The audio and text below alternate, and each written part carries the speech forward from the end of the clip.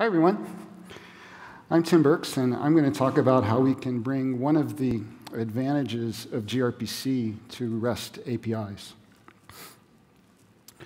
Uh, gRPC is a framework for building APIs, and in gRPC, um, there's a language for describing an API. And from that language, uh, you use a tool called the Protocol Buffer Compiler to compile that description, and that's passed to plugins that generate code in various languages to support the API.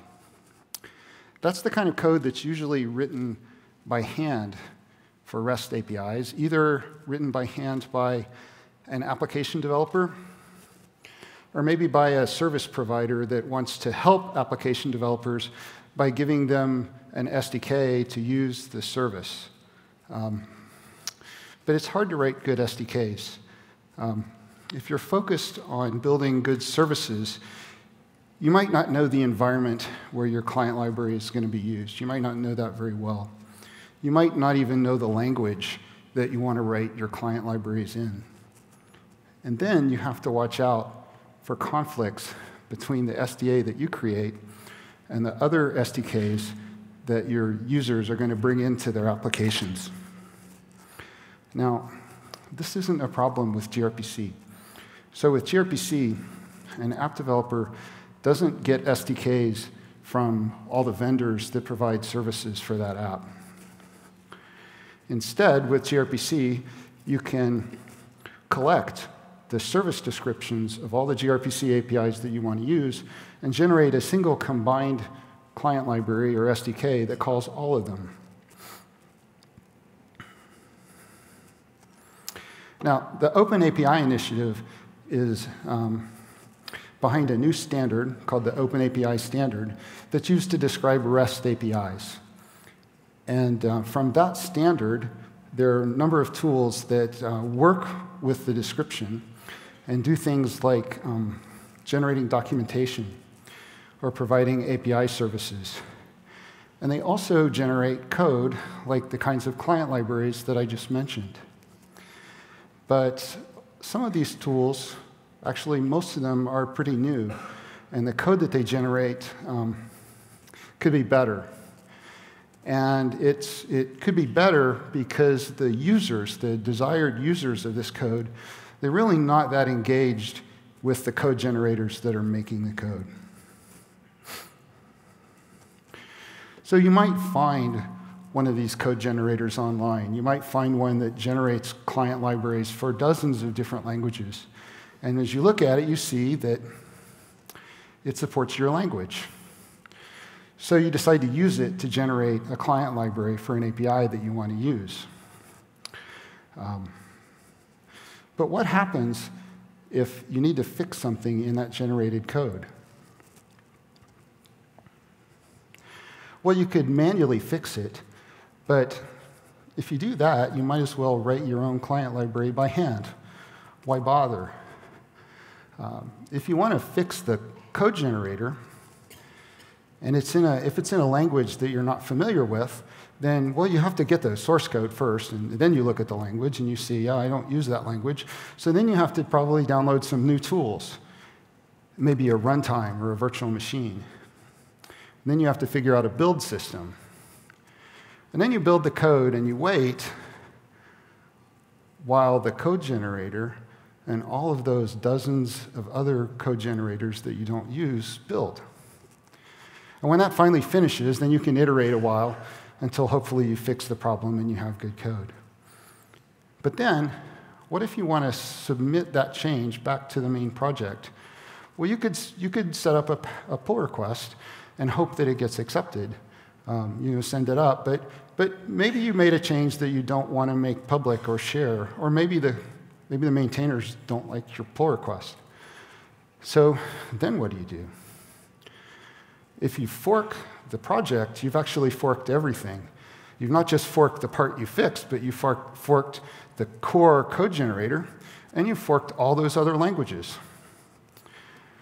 And you can't really put a version number on the change that you just made because the versioning of the code generator applies to the whole thing, all the dozens of other languages that, that are lumped into the thing. So this isn't a problem for gRPC. So with gRPC, the code generation process starts with a kind of a general purpose compiler called protoc. It reads the protocol buffer definition language, and it uses a plugin interface to call plugins that generate code in lots of different languages. It uses a, a special binary format. It's actually a protocol buffer that it uses to define that format. And then the, the plugins can be written in any language that supports protocol buffers or that has protocol buffer support. So the result of that is that the Go plugin for gRPC is written in Go. And if you're a Go user and you don't like the code that comes out of it, you can easily fix that. So last year, I started working on some tools to work with OpenAPI. And OpenAPI is usually represented with JSON or YAML.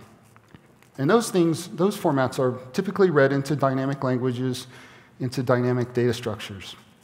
And in Go, that's not so great.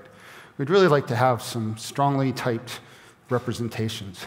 So as I was thinking about how to make these, one of my coworkers suggested that I look at protocol buffers and create a protocol buffer representation of OpenAPI, and then read JSON or YAML into that protocol buffer representation, in which I would be able to generate the data structures in lots of different languages, including Go.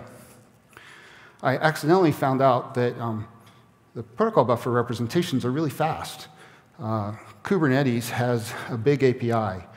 The open API description for the Kubernetes API is one and a half megabytes of JSON. And that takes about a half second to read into a Go data structure. So a Kubernetes engineer took my tool, used it to convert the Kubernetes JSON into a proto version, and found that he could import that, he could read that in nine milliseconds. So, big difference there. But the thing that really matters to me most is that the protocol buffer representation makes it easy to build plugins. So, it's easy to write code generator plugins that use the proto version of OpenAPI, which is already syntax error checked, pre-processed, to build code generators in lots of different languages. So I believe that the only way to make a code generator that generates code that is good enough for people to actually want to use is for the, for the developer of that to understand that code generators belong to their communities. That if we're generating code, we need to do that in, in those languages. So that's the purpose of Gnostic, which is, which is my tool. This is um, a Go program. Uh, it's on GitHub. It's open source, Apache licensed. And the project right now includes a binary that's the, a command line tool that's the core processor. It has a number of demos and plugins. And it has models built into it for OpenAPI 2, which is kind of the, it's the standard OpenAPI right now. And also a, a a draft of OpenAPI 3, which is getting close to completion. Um, and I'm hoping to continue working on this and to work with people in lots of different language communities to, uh, to, to go forward with this. So if you're interested in helping, here are some ways that you could get involved.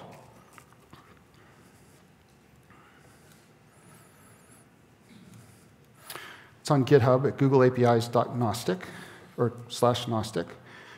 And I'm Tim Burks on um, Twitter, Gmail, and at google.com. Thank you.